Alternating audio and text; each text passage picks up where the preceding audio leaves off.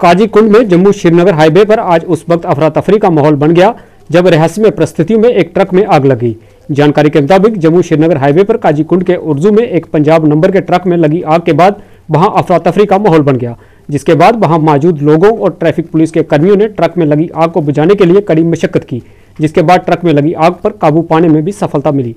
कुलगाम से न्यूज़ जम्मू के लिए आशिक अली की रिपोर्ट।